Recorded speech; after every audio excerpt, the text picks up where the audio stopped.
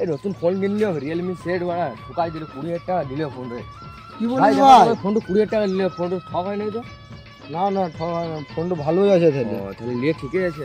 একদম আসবি নি। ভাই ফোন নিয়ে পালাই গেল এ ভাই ফোন দি এ ঢেমনা চো চো ফোন দি যা আমার ডাঙ্গা তো ছুরি আছে টিভি দিব দিব। ভাই আমার ফোন দিয়ে পালাই যাচ্ছে। ফোনটা এই ফোনটা ফোন তো কিনলাম ভাই। এই ফোনটা হ্যাঁ ভাই। কি বলিস কি? হ্যাঁ দশ